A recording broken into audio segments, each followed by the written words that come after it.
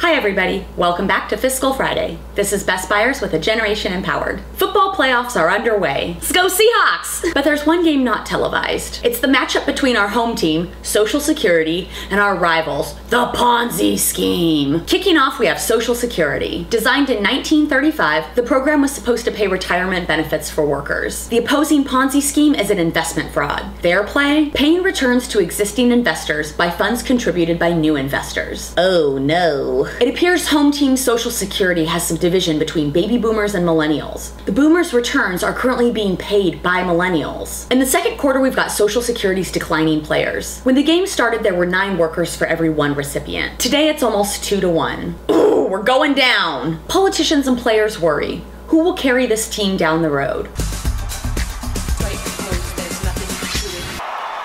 We're back after halftime. It appears after 1960, Congress began raiding Social Security's trust fund to a tune of $2.6 trillion.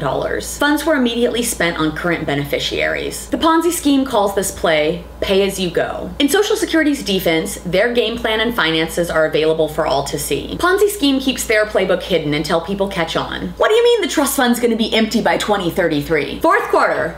Here we go. In order for Social Security to stay in the game, benefits paid to recipients after 2033 will be slashed 25%. That's a bad contract. In 1960, the Supreme Court ruled in Fleming v. Nestor entitlement to Social Security benefits are not a contractual right. That's a flag. According to the refs, if a private firm altered the terms of your retirement, they'd be prosecuted. Defenders of Social Security claim the difference is voluntary. Ponzi schemes require voluntary participation. Social Security is required. Therefore, it's not a Ponzi scheme. Ooh, and a hard tackle for that defensive argument. The losers in this game are taxpayers, notably millennials, who are forced to play regardless of loss. Social Security needs a new plan because our future is being tackled. This is Bess Byers, making plays. And remember, it's your generation and you're empowered.